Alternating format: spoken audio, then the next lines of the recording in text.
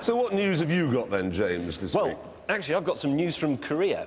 You can't tell, can you, that Top Gear's just been sold in Korea? No, no, Well, no, I don't think there's any evidence. I think we're smoothing this one out nicely. it's not showing. Hello, you industrious little fellows. That's got him on side. Well done. It's not like we've ever upset anyone. I know. Well, there was the vicar whose tree I rammed in the Toyota pickup truck. Yeah, and was. everyone in Wales, and everyone in Birmingham, and everyone in America. Yep. Uh, now, it's unlikely to be here because uh, everyone does five. It's not going to be here because everyone's on drugs. That's all just full of ox. Uh, Al Gore says that's gone, so it's not going to be down there. That's full of spiders. Signposts here are all full of gibberish. They're all communists. Can't Yep. go there because the Americans will shoot you. No, no, What? thank you. All right. Oh, Sadly, though, this was also too much for the US government. I just wanted to make sure that uh, you guys are doing the documentary. Oh, it is a documentary. It's not a like a fooling around show. No, it's a serious show.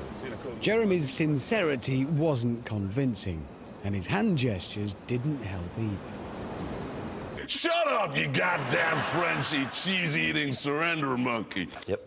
So, if you're watching this in Saudi Arabia, time to break out your camel. It's back to carpets for you.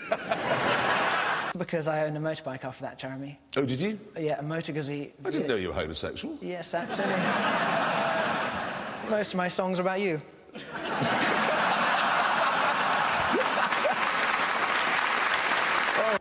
Can I just say, identified me. What? you look like a gay cowboy and you look like a gay terrorist. No, you look like a terrorist with a broken windscreen wiper, and your face is ridiculous. We should do a car that's quintessentially German. Well, just replace the spoons with little sausages in No, clips. no.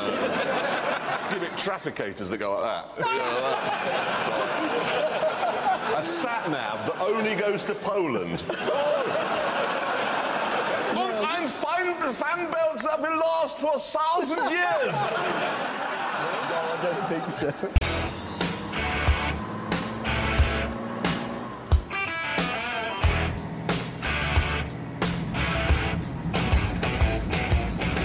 I just thought it would be nice for them to arrive back in the country the way their ancestors left. There's a pleasing circularity to this. That's- Exactly. that is Exactly. thoughtful. Why Sorry. would you want a Mexican car? Because cars reflect national characteristics, don't they? So German cars are sort of very well built and ruthlessly Yeah. efficient. Italian cars are a bit flamboyant and quick. Mexican cars just going to be a lazy, feckless, flatulent open and stop. Leaning against a fence asleep, looking at a cactus with a blanket with a hole in the middle on as a coat.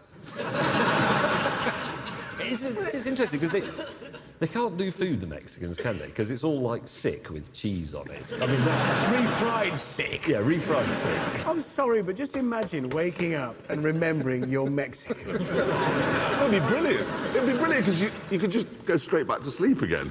Oh, I'm a Mexican. Thank God oh, I'm a Mexican. all I'm going to do all day. That's why we're not going to get any complaints about this, because the Mexican embassy, the ambassador's going to be sitting there with a remote control like this. they won't complain. Because this is a hard job, and I'm not just saying this to win favour with lorry drivers. It's a hard job. Change gear, change gear, change gear, check your mirrors, murder a prostitute, change gear, change gear, murder, check your... That's a lot of effort in a day. That is a proud moment. But there's a slope on it. You're right. It's definitely higher on that side. If you're thinking of coming to America, this is what it's like. You got your Comfort Inn, you got your Best Western, you got your Red Lobster where you eat. Everybody's very fat, everybody's very stupid, and everybody's very rude.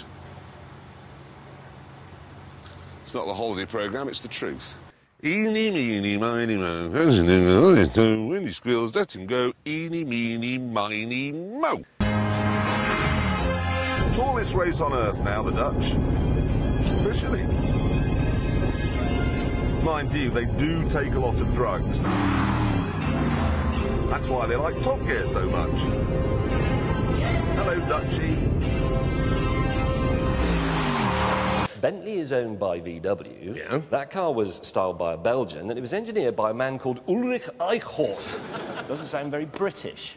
Are you does it? presenting Top Gear, or are you writing a letter to the Daily Telegraph? Well, I'm just saying that you know immediately that that car is German because it's got too much power. They've overdone it, as usual. like they did on their French holiday in 1939. James, James, the Queen is German, but you don't sing Deutschland, Deutschland über alles every time she comes on the television, do you? Well, I do actually. Yeah, he yes. does. They've nicked our airports, they've nicked all our fish, they've nicked all our building societies, they eat the heads off prawns, they throw donkeys off tower blocks, and they stab cows. So that's Spanish. That is the Spanish. Anybody from Spain here? Sorry. Give me my fish back.